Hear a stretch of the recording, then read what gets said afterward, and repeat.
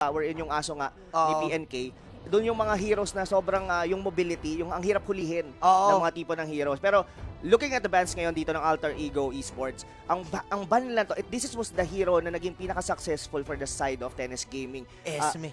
uh, Ay, I mean ano? the YSS, YSS. and the, the Silvana. Meanwhile, for Tennis Gaming Frost, this is, pa- ito na yung pinaka-general bans natin on the current Yeah. meta. So now, this is a Leo Murphy specialty. Nako, hindi binan dito. Actually, may interview ata kay Coach Ducky one time. Mhm. Ana, para bang si Leo Murphy yung nabanggit niyang nagpahirap sa kanila eh. Ay, And ngayon, yung Joehead, which is I think best pick ngayon ni Leo Murphy, mhm. ay binigay ng 10S. Well, actually, may ganitong strat talaga yung 10S eh, na parang binibigay nila. Tapos tina- ang hinihintay nilang ah, piliin, tapos pipili sila ng counter. Counter punch. Oh. Ganun yung ah, madalas nilang ah, ginagawa eh. Pwede. Pero ito, Jin ha, pinag-usapan Lapu-laps. natin to kanina. Not only the Lapu-Lapu, ah, Tennis Gaming Frost, Kags. talagang mahilig sila sa Kagura. And pag si Koro ang gumagamit yan, hindi yan yung ano yung support or rather the mid Kagura. It's Side more lane. on the side lane. Ano to, XP lane Kagura. Ang maganda sa Kagura XP lane kasi may ulti ka kagad. Mhm. Na, tapos, pwede rin mo rin kasing i-gold lane kung iisipin mo ang Kagura para may damage kagad. Actually, napag-usapan nga natin to kanina na ang mga mages ngayon, lumaki yung responsibility. Aha. Lalo sa game. Kasi dati parang ano lang yan eh, poke-poke, ganun lang yan. Pero ngayon, parang ano na siya eh, ito na yung pwedeng magbuhat ng game. Mm. Kasi bubuo at bubuo sila ng damage item, bubuo at bubuo sila ng ah, ways to win. So with this, Lapu-Lapu Kagura, I like it. At least the Kagura can uh, can be mobile against the Johead. Oo. Kasi ang laki pa rin ng tulong ng Rusho Umbrella Flea eh. Yung makakawala ka sa mga any Oo. CC para kang may mini Purify. Ah, saka ano din eh, in terms of damage, kumbaga, you go, etong ah, Tennis Gaming Frost kasi ngayon, hindi na sila yung parang nagiging reactive type of lineup na or in, Oo. ah, yun yung naging ah, formula nila during ah, group stage. Yun nga yung nagkaroon sila ng ah, si Mr. Wagyu Beef. Naalala mo yan, si... Si Mino- Tormino, si Tormino. Si Tormino. But, pero ayun na nga, nagiging damage-centric sila dito and nag-fit talaga sa draft nila itong mismong Kagura. Meanwhile naman, Kuya Jane, of course, medyo nagugustuhan ko yung first three picks dito ng Alter Ego wherein nasa kanila ngayon yung Matilda, nasa kanila Oh! ngayon dito yung Jawhead. And yun na nga, sinabi natin kanina, the Popol and Kupa once again. Kasi yan na nga, ito yung pinaka-recipe nila eh. Popol one of the reason no? kung bakit binan yung YSS and Silvana, kumbaga yan na nga lang yung kulang. Pwede nang kumpleto na Kompleto na. ang lineup ng Tennis Gaming Frost. Meanwhile, Actually, napaisip ako dito, Rob. ano yun? Yung Popelin Kupa, pwedeng sagot kasi sa ano to eh, Matilda. Ay. Kasi yung ano ng Matilda, yung mga butterfly, Mhm. yung first skill, pwede kasing ano eh, tamaan yung aso. Ah, pwede- Hindi directly lahat pupunta sa'yo. Pwedeng pumunta yung ano, no, yung damage ng Soul Bloom. Totoo, totoo. Tsaka hindi lang yung Soul Bloom Ano ni yun? Matilda. Pati yung Smart Missiles ni Joehead. Ay, okay. Kumbaga, etong kupa na to, siya yung magsusoak up ng mga damage na supposedly dapat pang-burst nila sa Pang-burst mga hero. nila, oo. At saka pwede rin, yung ejector, hindi ganoon ka magiging madali para kay Leo Murphy. Kasi may Mm. nakaharang na isang unit. Yun yung lamang mo sa Popolin Kupa eh. Lalo na kung, kung nakadikit sa'yo yung aso. Oo, yan din yung ano eh, usual dilemma ng isang Selene eh. Look at here dito, no? Halos hindi niya pinapansin yung Hindi Selena. niya, wherein wala sa silang mga- pake. Oh, wala talaga sila ditong pake. Pero ito kasi Kuya Gina, looking at the Alter Ego Esports, medyo somehow ang tanky naman nila.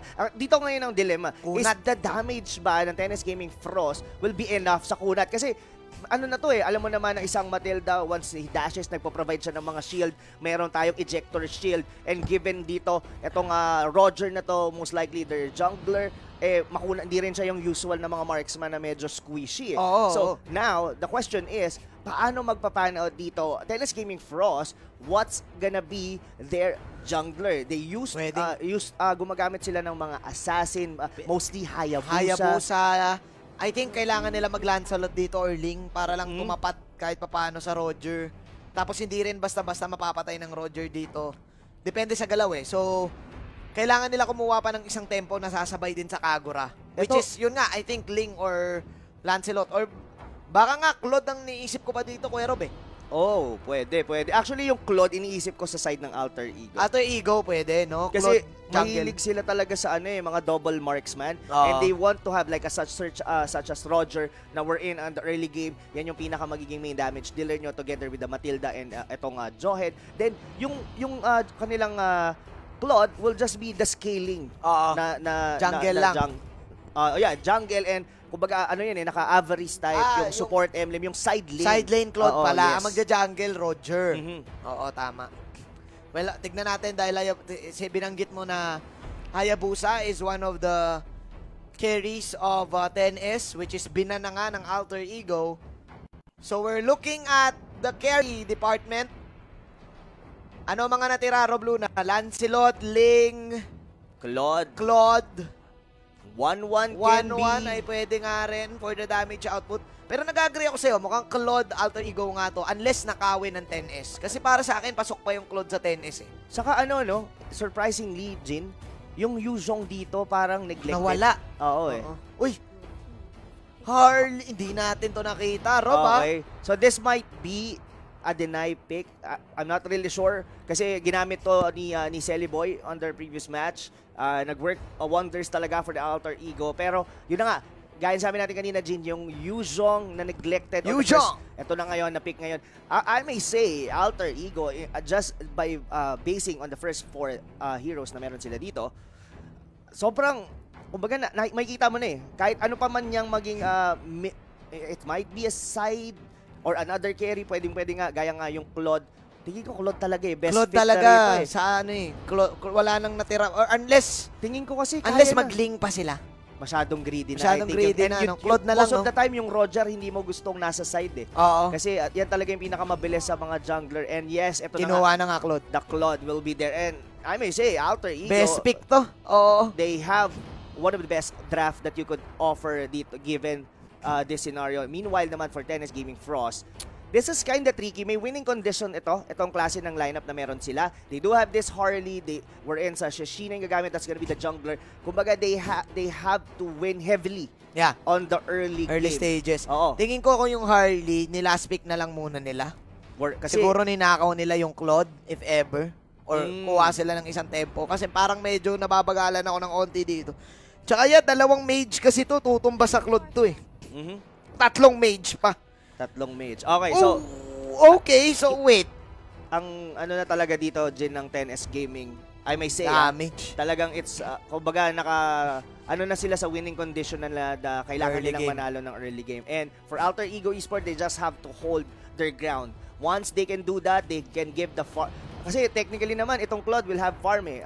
One Oo. way or another eh. Etong etong ma- magsiset talaga ng tempo dito is the first three picks dito ng Alter Ego. Itong Zohed, itong Matilda, and as well yung Roger. Nag-agree ako sa Rob, parang ang win condition talaga ng 10S dito is at the 10 seconds na umpisa pa lang ng laro. ng laro, gumera na sila ng gumera kasi it's going to be a climb para sa kanila, lalo na pagdating sa scaling. Kasi tama kay, kompleto si Ricardo sa side ng Indonesia, meron silang early, meron silang magpo-farm lang na up to late game, Mhm. and meron silang tankiness na sobrang ganda uh, due to the form of the uh, the the Yuzong, tapos meron pang Johead. Ngayon, ang dilema lang is that I think ang sakit kung iisipin mo ang 10S pagdating din sa damage eh. Aha. Kasi pure burst to. Kaso ang problema, ang lambot ng tatlong mage na to. yun. Kayang-kayang patumbahin kagad ng Roger at ng Claude yan. Paunahan yan eh. Paunahan, indeed. And not only that, parang ang si Pai dito, makuha niya lang yung dalawang core item niya like DHS, Golden Staff, mararamdaman ito ng mga members. Siguro, in terms of kunat-wise, pwede si Chef Mia, depende on how he built it. And Papa, of course, dito yung lapo-lapo. Pero, for me talaga, Jin, Yeah. itong early game talaga na to, magsaset talaga ng tempo. Ang, ang ano lang dito, no? Oo. Ah, parang you're inclined as Alter Ego Esport na mag-build lang ng magical defense. Hindi Yeah. mo na kailangan masyadong mag-physical defense para dito kay Papa. Pero look at that, kung gaano Parang- ka-aggressive dito ha, sila Selly Yeah. Boy. Parang ang kailangan mo lang dito, Meteor, ah Meteor, ah Rose Gold Meteor, Mhm. build ka lang dito Athena Shield, kasi wala namang Esmeralda, pwede ka pa mag-build ng Oracle lang. So talaga pure anti-magic ang kailangan lang gawin ng Alter Ego dito. So nag-agree ako si Rob. Ito pa yan, Rob. Pag Ano nag-build sila ng anti-magic, meron pa silang Matilda dito. Oo. Na kumbaga, pag 5 on 5 suntukan, sustain ni sustain. Oo, Kumbaga, etong Matilda na to, pwede itong sub sa Estes na may damage eh. Mm. Kung iisipin mo eh, di ba? Pero yun kan- kanina din na muntikan doon, nagkamali lang ng, ah, ng talon doon sila um, Leo Murphy, muntik na muntik pa talaga doon si, Si- Sevnea. si. Though hindi niya naman na- pa napapop yung kanyang Purify. Pero going back doon sa sinasabi mo no, yung sa yung nga yung sa kunat wise, yung napoprovide din of course nitong uh, ni Cassius wherein siya yung nga yung Matilda. Matilda. Ah, nagme-make sense kasi ang hirap nilang i-burst dito eh. Hirap talaga. Kailangan dito ng ah, 10S Gaming Pros na kapag may nahuling isa, dapat lahat tumama. At eto si Koro, may sticker pa nga, abang si Leo Murphy ay ah, alter E, go, go, go! Para sa kanya dito. And eto na yung sinasabi natin, Rob. The capability of alter ego to get the side lanes. Look at this. Unti-unti na nilang tina-target si Koro dito, pare. Unti-unti na nilang mini-make sure na made-dead lane si Koro dito sa bottom side. Oo, saka ang ganda na magiging rotate nila rito eh. Oh. Pero level 4 na yung Farsa at ang una nakuha dito sa gonna be Celeboy, yung Circling Eagle Manjin. Ang ganda nun! Apat kagad para sa side ng Tennis Gaming Frost. That is Celiboy na mawawala dito. Good thing na yon yung nahuli dito ng Tennis Gaming, ah, Gaming Frost. Oo, and kailangan nilang gawin to, Jin, ng paulit-ulit. Kasi, ah, kumbaga, pinag-usapan natin to, yung early game talaga, Tennis Gaming Frost, they have to make the most out, Out of, of it. it. Kumbaga, ah, kailangan maging enough yung mga damage or yung mga items nila rito to be able to burst down. Kasi ang gagawin lang nito nila Yam, magbibuild lang to ng mga ng mga defensive item and from there, they could sustain. China. Oo, susustain na lang nila dito yung mga members ng Tennis. And I may say, itong Farsa na to dito and as well with Sheena, sila talaga yung make or break Make dito. or break. Yung damage ng dalawang yan, kailangan merong may minus one agad. kada cooldown. Unless mag-damage build itong si Sebnea. Mhm. Yun yung ano dyan, yun yung maganda dyan. Kasi, ang ah, maganda naman kasi sa Popol and Kupa, Mhm. pseudo marksman yan eh. So, Sa- eventually, pwede siya magka-damage in the late game. Kaso kasi, ta- tama ka dito, Rob eh. Kailangan lang ng alter ego maging patient at huwag magpapitas. Kasi mukhang ang 10S, ang ang playstyle nila lagi, pitas pitas gaming eh. Oo, Kahit saka- nung mga unang game nila, Kadja, mga ganun, 'di ba? Saka ito, ano ah, Gin, ah, ang gusto ko rito, not only that, Obuyan might get caught out. Ang sakit, nagsama sila doon sa Circling Eagle, pero yun na nga, magpa-pounce ba dito si Early Boy? Actually, si Seisus ang unang mawawala. Si Oboyan na din. Yam going one-on-one with Sheena. And uh, Sheena, dito na yung sinabi mong sustain, Rob. Alter Ego with the place and probably Papa will fall down. Lista mo na. Okay, lista na talaga to, Jin. Now, kung ang alter ego ang nagsiset ng tempo dito sa early game, and Jin, I may say, uh, this is really heavily going towards their favor. Kasi ganito yun, ang, ang- ang nakikita ko sa ginagawa kanina ng Tennis Gaming Frost, pinupuruhan nila yung top lane. Oo. Uh, wherein, uh, pinu- nilalagay nila doon yung four members nila. And look at this, Napaaga yung ano, Rusho. Moro will get caught out as well. Yung Oo. rotation ng alter ego dito, somehow flawless. So going back sa sinasabi ko, Jin, ang ginagawa nila kanina, sinusubukan nilang basagin kagad yung lane doon ni Yam. Wherein, nakiklear eh. Nakiklear yun. And sila pa, oo, na-turn around pa yon nung Oo. Yuzhong. Now, delikado ngayon dito ang Tennis Gaming Frost as they don't know where to rotate right now, Manjin. Saan nga talaga? Lalo na 3 mage setup sila, Rob. Tama yung sinabi mo eh. Sinusubukan nila dito yung top lane. But then again, the problem here is kaya mag-survive kaagad ni Yam. And now Yam with 2-0-2, this is a potential Yuzong ano na din, Yuzong game. Kung iisipin mo, yung Yuzong at saka Joed, hindi nila kaagad mamapatumbayan. Oo eh. Lalo na itong ah, Harley at Farsa, umaasa sa positioning yung dalawang heroes na yan eh. Saka ano eh, uh, medyo in part of the draft talaga, ang Ayan, oh. hirap na na-open yung Yuzhong sa kanila. Look at that, Leo Murphy, bigla na lang natunaw. Natunaw talaga at ngayon mukhang matutunaw ata ang tennis pero let's see dahil isa lang ang namatay para sa kanilang squad na palaban na lang si Papa dito Papa nagback na yung mga kampi niya. Eto pa yung Robo. Pansin na pansin. Hmm? after nung pitas ng Feather Airstrike Deadly Magic wala nang kailangan gawin yung tennis gaming pros kundi mag-back. Hindi na sila pwedeng lumaban pa. Hindi sila prolong team fight eh Saka heavy burst type yung lineup nila eh Oo, burst type. Pero they are actually heavily countered talaga dito ni Yam eh. Kasi once na nag-Black Dragon, what you gonna do? Kailangan mo pang hintayin matapos yung duration ng Black Dragon. So Oo. what if nag-Feathered Airstrike ka na, tapos lumabas yung Black Dragon, you have to cancel it out. Or rather, baka biglang tumalon na doon si Sheena. So parang parang ang daming condition para ma, ma- ano, perfectly dito Oo. ng 10S Gaming. Meanwhile, for Alter Ego, they just have to prolong the game. The game. They just have to farm. Once Yeah. na magkaroon ng item si Pai, si Celiboy, and Yam, and it's over for 10S Gaming. Tama ka. Actually, Rob, hindi nga lang the game eh. Maprolong lang nila yung team fight. Para sa akin, lamang ang alter ego eh. Pero let's see, dahil kung ah, magtuloy-tuloy ang pitas ng Tennis Gaming Frost, malamang sa lama, malamang ay makakuha sila ng magandang lead. But then Mm. again, doon lang sila umaase. Kumbaga, kumbaga sa sayawan, one step lang sila. Oo. Pero hindi sila dumodouble-double. Parang ganito, Jin, oh, speaking Ayan, of oh. double, dalawa na ang hinaharapan Grabe dito si ni Yam. And Koro might fall as well. Mad- all of the doubters ngayon, mga kaibigan, ay dinadoubt ang ah, capability ni Yam to be aggressive. So ngayon, na pinapakitaan niya tayo na, teka lang, Si Coach kaya to, ko si rin naman Coach. pumalag. Meanwhile, Papa is going one-on-one with the Matilda. Pasok ba dito si Kaisus? Kaya ba to? Hindi ata kaya. Dash out para kay ah, Papa. So, Tennis Gaming, kumakapit pa rin dito, Rob Luna. 1K lang ang kalamangan ng Alter Ego. Hmm. But still, yung win condition ay nan... Ay, gan grabe, favorite spot nila yan, pare. Obu yan with a clutch pick-off. Rob, anda, sinasabi mo dito, kailangan lang tumagal ng Alter Ego. Pero pangatlong magkasunod na pitas na yon Oo. para sa 10S. Pero na, pero yun kasi Jin, yes naka, nagkakaroon sila dito na ano, pero they are still behind in terms of the gold. Even you, when you look at the map, sobrang confident dito ng mga side laners ng Alter Ego. Look at Yam. Kaya niyang lumalim dito even under the inner turret. Bakit? Kaya niya mag-Black Dragon out. Leo Yeah. Murphy might actually caught out pero haharap dito si Yam. Okay, pero actually, Yam, hindi niya na maliligtas si Leo Murphy. As si Sheena ay inabangan, yun pa ang mahirap pa, bilang isang early.